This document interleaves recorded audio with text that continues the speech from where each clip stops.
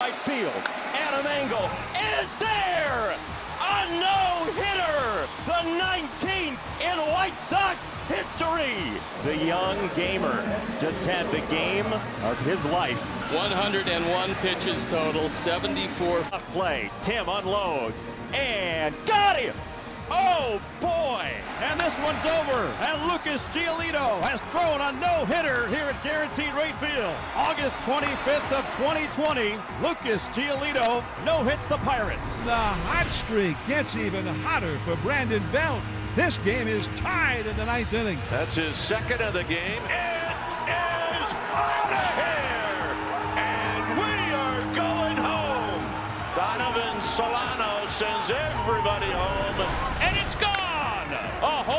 for JT, a three-run shot with a little help from the bounce off the top of the fence. He leaps and he makes a terrific catch. Segura was around second. He heads back to first. Robles throwing that direction. Double play on the fly.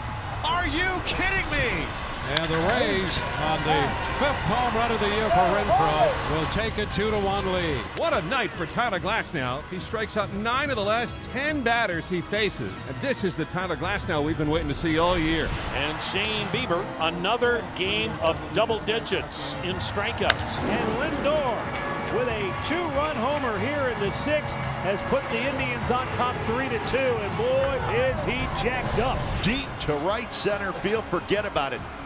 That baby's gone. 453 feet. Ah. Two-run shot for Marcus Semien to give the A's a 5-1 lead. That is a sharply hit ball that gets through. It's a base hit. Sweet Lou getting it done, not waiting around. How many times have we seen Mickey Rowe go the other way? Continues to do it. Quality at bats. And he is safe at home. He has stolen home. Jon Berti produces a run all by himself, and it's three to nothing Marlin. You walk, you steal second, you steal third, you steal home. He caught the Mets napping. Altuve scores. Correa around third. He will score as well. And the Astros lead two to nothing. This one's ripped into left center field. That's going to split the gap. A run scoring double by Yuli Gurriel. It rolls all the way out to the wall out there, and the Angels are going to get three on it, and that ball is out of here. Angels add on. It's 5 nothing. Number one this year for J.P. Crawford. How about dead center taking you deep? Nice play. Manny Machado down there at third base. From one knee, fires across the diamond as far as you can. Number five for Austin Nola. Nice way to start the sixth inning. See ya! Grand slam for Jonathan Schoop.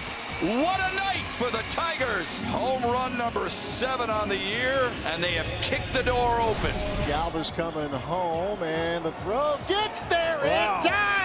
Yeah, there you go. He's out at home. Right, right. Oh, what work by Gamble. How about that 9-2 putout at home plate? Home run, Ryan O'Hearn ties the game. He hit a high arcing shot that made it into the right center field seats. Royals holding tight with their lead with outstanding defense. Nolan has his first extra base hit on the road this year. What a wonderful time for it. And Nolan will have himself his second double of the ball game, and the Rockies retake the lead four to three. And he tags that one. Hot shot down the line. That's going to go all the way to the corner up against the fence and all the way down to third as three runs.